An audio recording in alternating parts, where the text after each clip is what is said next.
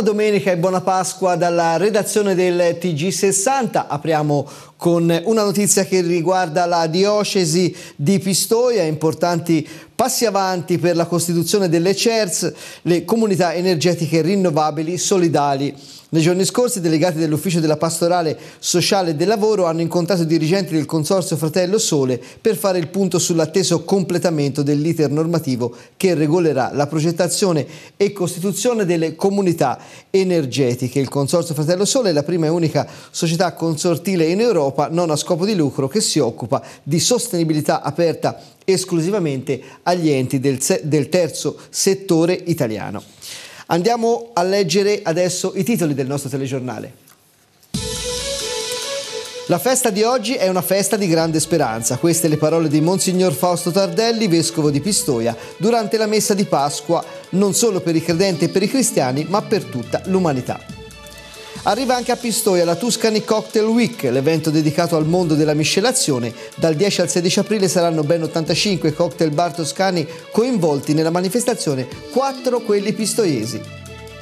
La sconfitta a Cremona nella seconda partita della fase orologio non deve abbattere la Giorgio Tesi Group. L'atteso ritorno di Del Chiaro sarà la chiave per completare l'organico e prepararsi per i playoff. Come abbiamo sentito nei titoli, la festa di oggi è una festa di grande speranza. Queste le parole di Monsignor Fausto Tardelli. Il passaggio dalla Porta Santa del Vescovo Monsignor Fausto Tardelli, seguito dai fedeli che hanno assistito alla messa di Pasqua nella cattedrale di San Zeno a Pistoia. Che cosa cerca ogni uomo e donna di questa terra? ha sottolineato Monsignor Taddelli nell'omelia. Alla domanda non è poi così difficile rispondere se ci si guarda dentro. Cerchiamo felicità, stare bene, in salute, avere a disposizione dei beni per una vita dignitosa e libera.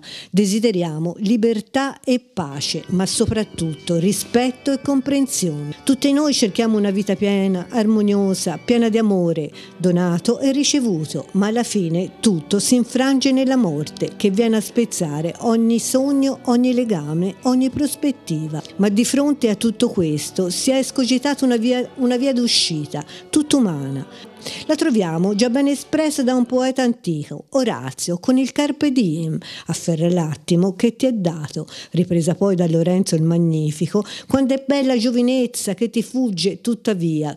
Chi vuole essere lieto sia, di domani non c'è certezza. Questa soluzione è la via dell'accontentarsi, la via rinunciataria, è quella di farsi una corazza spessa, per cui ogni cosa ci passa sopra.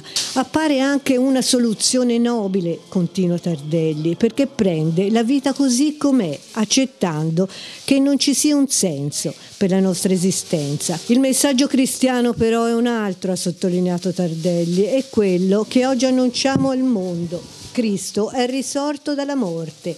L'annuncio della Pasqua cristiana è tutto racchiuso dentro a questo fatto reale, affidato esclusivamente alla fede. Noi cristiani crediamo in qualcosa che sfida la stessa ragione e che può sembrare assurda, qualcosa che va contro la nostra stessa evidenza quotidiana, ma è qualcosa che dà un senso a tutta la nostra esistenza, la risurrezione. Andiamo a Serravalle Pistoese dove è stata inaugurata una targa per l'intitolazione a San Ludovico della cappella annessa alla chiesa della Pieve di Santo Stefano.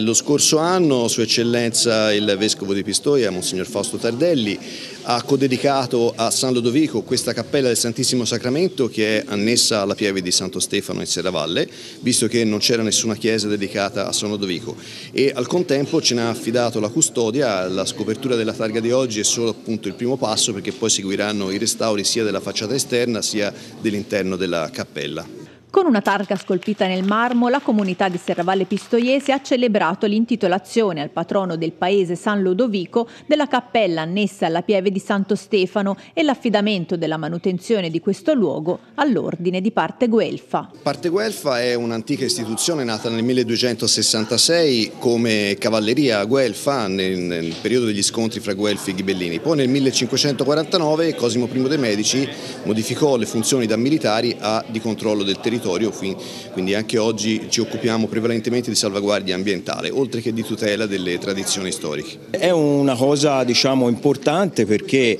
eh, c'è anche a questo punto dall'anno scorso una struttura che è intitolata a San Lodovico. San Lodovico in questo paese è molto molto molto amato eh, dagli abitanti, eh, tant'è vero che fino a poco tempo fa chiunque veniva battezzato in questa chiesa eh, aveva come secondo o terzo nome eh, Lodovico o Lodovica. Torniamo a Pistoia, tante volte gli ospiti di Vico Faro sono stati oggetti di critiche e sotto eh, l'occhio del ciclone questa volta invece è un ragazzo del Gambia che, parla, che prova a parlare con l'arte e a superare eh, barriere e ideologie. L'arte contento dentro, you know, felice dentro. You know anzi racconta qualcosa di importante per gli altri. In occasione delle benedizioni alle famiglie della parrocchia di Vicofaro, Don Massimo Biancalani porterà in dono in ciascuna casa una copia dell'opera Ecce Homo di Donatello da Messina, realizzata dall'artista gambiano Ebrima Danso, ospite della comunità di accoglienza migranti di Vicofaro. Quindi vuole essere un segno di incontro, riconciliazione e nel stesso tempo anche appunto vuol parlare, vuole anche cercare un po' di rompere i luoghi comuni, no? I ragazzi sono tanti, hanno tante caratteristiche, e ha ragazzi problematici alcuni, ma insomma ci sono anche tanti che hanno delle risorse e noi cerchiamo anche di valorizzare eh, nei limiti del possibile e prima, a 25 anni, ha già esposto alcune sue opere in Gambia, dove era anche insegnante di disegno, ed in Italia. Anche ora sto facendo qualche lavoro anche già fatto tanti mostre. Ebrima è partito dal piccolo stato africano nel 2016 imboccando la rotta del deserto che dal Senegal passa per il Mali per poi raggiungere la Libia.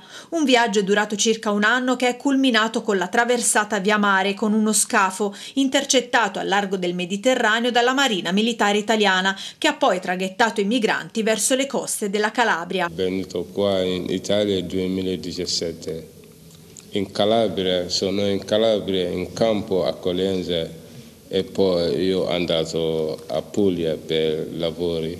Sono arrivato in Vicofaro eh, l'anno scorso eh, verso ottobre. Massimo ha detto bravo, ti aiuto a comprare i materiali e mi racconta tua storia, mi lavori tua storia dal Gambia fino in Italia. Grazie a un progetto finanziato dalla CE inoltre, Ebrima Danso realizzerà una mostra di 15 tavole sul suo viaggio dal Gambia verso l'Italia. Eh, 15 situazioni dal, del cammino che i ragazzi immigranti fanno dall'Africa fino, fino qui in Europa, quindi l'origine, poi il deserto, la Libia, le carceri, il mare, fino a Lampedusa. E da domani al 16 aprile quattro locali pistoiesi prenderanno parte alla Tuscany Cocktail Week. Nel servizio di Simone Gai andiamo a vedere di cosa si tratta. Arriva anche a Pistoia la Tuscany Cocktail Week, l'evento dedicato al mondo della miscelazione. Dal 10 al 16 aprile saranno ben 85 cocktail bar toscani coinvolti nella manifestazione. Il mondo mixology negli ultimi anni sta interpretando un ruolo da protagonista sul panorama enogastronomico italiano. Non si beve più il solito spritz, ma ci si spinge oltre con i bartender che sono diventati ormai sempre più dei guru del bere bene e consapevoli, con accostamenti che spesso e volentieri vedono i cocktail abbinati a piatti di ogni tipo oppure creati con prodotti a chilometro zero nel rispetto della sostenibilità e della tradizione. A Pistoia saranno quattro i locali coinvolti, il Voronoi, il Loco Comodo, il Vitium e la Fortezza 54, dove sarà possibile degustare tutta la creatività dei bartender locali.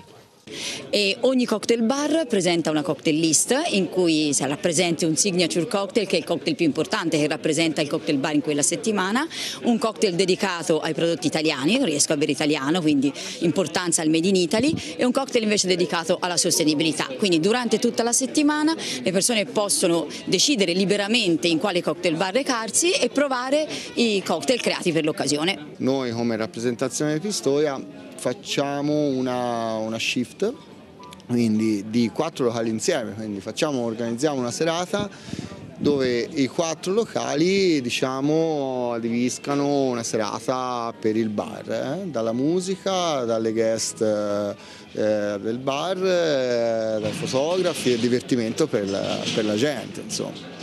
Pistoia qualche anno in ritardo ma comunque siamo entrati prepotentemente nella scena io ormai 20 anni faccio il barman, è 10 anni che sono a Pistoia quasi e con grande fatica e grande professionismo da parte dei miei colleghi siamo entrati molto molto forte nella scena italiana.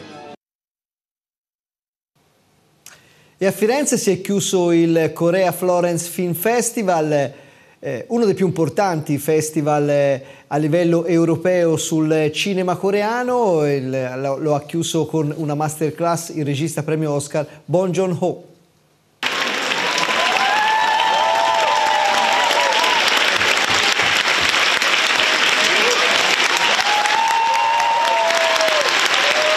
Si è chiusa la ventunesima edizione del Florence Korea Film Festival con un ottimo successo di pubblico. Ospite speciale della manifestazione è stato senza dubbio il regista Bong Joon-ho, uno dei cineasti internazionali più osannati degli ultimi anni, che nel 2020 con il film Parasite ha vinto la Palma d'Oro al Festival di Cannes, ma soprattutto l'Oscar come miglior film, miglior regista e miglior sceneggiatura originale. John Ho ha tenuto una masterclass al cinema La Compagnia da Sold Out, alla quale hanno presenziato anche il presidente della regione toscana Eugenio Giani, che ha consegnato il Pegaso al regista, il presidente del Consiglio regionale Antonio Mazzeo ed il sindaco di Firenze Dario Nardella, che ha consegnato una pergamena della città.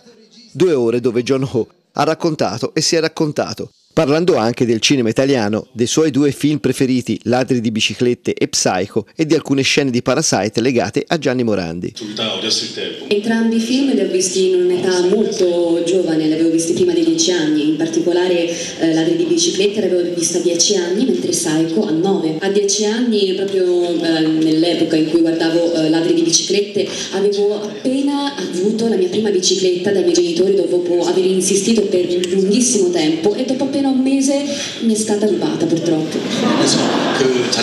E invece il film Psycho per me è stato scioccante direi perché l'ho visto senza sapere nulla, avevo um, dieci anni per l'appunto e non aveva questa storia, questo flusso della storia che non si poteva sapere dove andasse a parare e poi anche a livello visuale, visivo era davvero scioccante, quindi a quell'età tenera mi è rimasto questo shock che si è sedimentato ed è rimasto finora. Poi ci metti la musica di Gianni Morandi. È una musica così romantica musica, ma l'ho messa in una scena così violenta.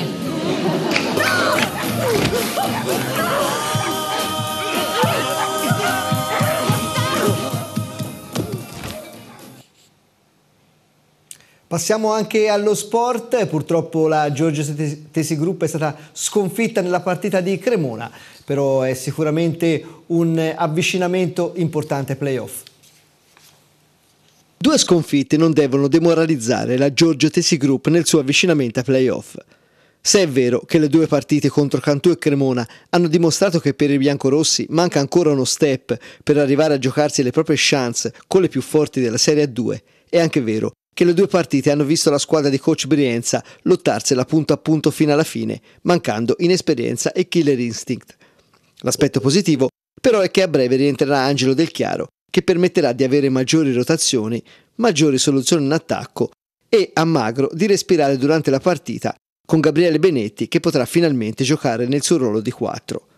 La partita di Cremona ha mostrato una formazione tosta che non molla mai, che sa reagire alle difficoltà, ma anche una squadra ancora non attrezzata per competere del tutto con le formazioni di alto lignaggio della Lega.